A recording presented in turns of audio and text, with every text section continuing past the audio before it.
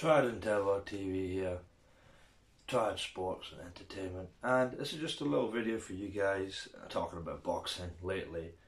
Uh, currently, in 2021, we don't have too many big matchups coming up, so I'm not going to talk about anything specific, but I want to just talk about big money fights, and particularly I want to talk about Tyson Fury and Anthony Joshua.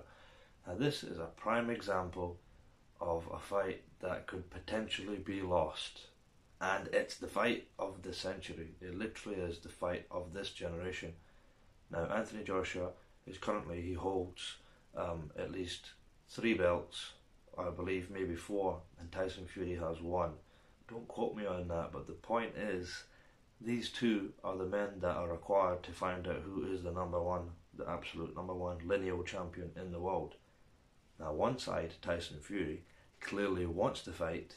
On the other side, Anthony Joshua says he wants to fight. However, he has a promoter in Eddie Hearn who comes in the way and has done everything in his power so far to avoid the fight, slip the fight, and just keep going round and round in circles.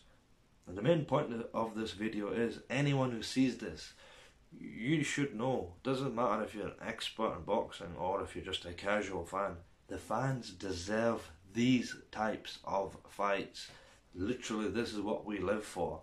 Literally, as a die-hard combat sports fan, you live for fights like this. It's actually the defining fight of this generation of the heavyweights. And currently, we have a very tasty heavyweight scene in world boxing it's really, really looking good. A lot of top prospects coming through. Um, but the current two at the top, there was three. One got knocked off, Deontay Wilder. There's two at the top of the mountain right now. In my personal opinion, Tyson Fury's number one. However, there's clearly two guys here. One guy in Anthony Joshua with huge punching power, massive knockout ability, great mover, great boxer, classical uh, GB boxing style, sharp jabs, um, just basic fundamental style, crosses and hooks, mixing up the combinations. He's got grit, he's got heart, he's got the mental game as well. And now on the other side, we've got Tyson Fury. Mentally, he is on another level. His boxing IQ is so, so high, so uh, superior to most guys out there uh, his understanding of what to do in the ring, his movement, um, his feints he uses.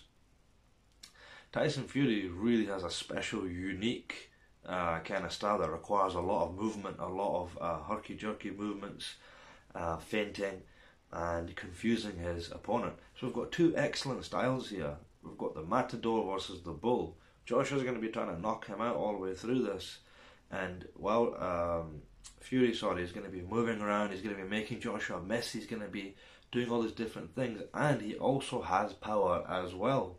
If he's able to push you back, as we've seen against Wilder, so I broke down the fight a little bit, but most people know this. Most people know this is the best fight um, that can happen right now. All boxing fans are dying. So, why isn't it happening? Or why is it taking so long for it to happen? As people have started talking about it now it's purely just down to politics and boxing. And Eddie Hearn has tried everything in his power for the fight to not happen so far. He claims that they want the fight, however, they've tried everything to avoid it. And now this year, this fight should absolutely happen.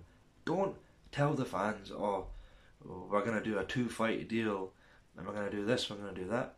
Give us what we want, give us one fight. If it's an amazing fight, the fans will ask for another fight. The fans will demand it boxing, combat sports, these sports always go by public demand. The fight, the fight fans demand it. The fight happens. Recent years, small example.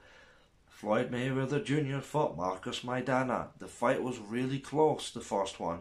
Maidana was getting a lot of success in it. The fans demanded a rematch. Floyd done it straight away because uh, he kind of had to. But the fact that the fans demanded it made it happen. That's one example of many I could give you over the years. Now, this fight, we're not even getting the first fight. Never mind a rematch or a trilogy bout, we're not even getting the first fight. So I just want boxing fans to understand that we're actually being starved of the best fights in the world right now. By now, um, Wilder, Fury, and Joshua should have all fought each other. Probably done all done one or two fights with each other by now, a round robin by now.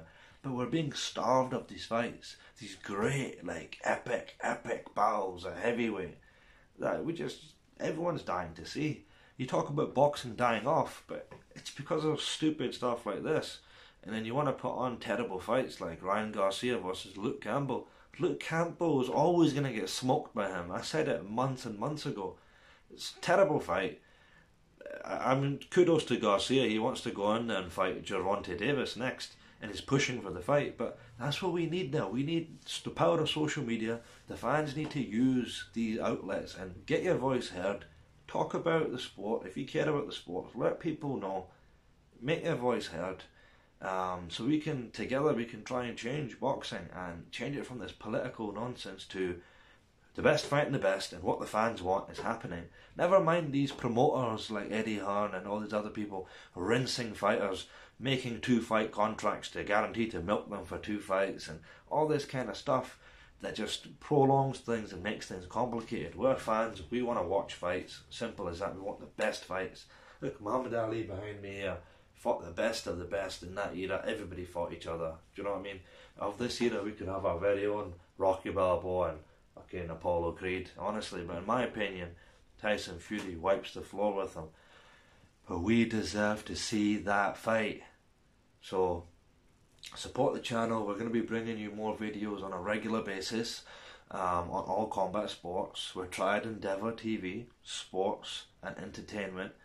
Um, follow us on all social media channels Instagram, Facebook, Twitter, and TikTok. And we will be bringing you another video tomorrow.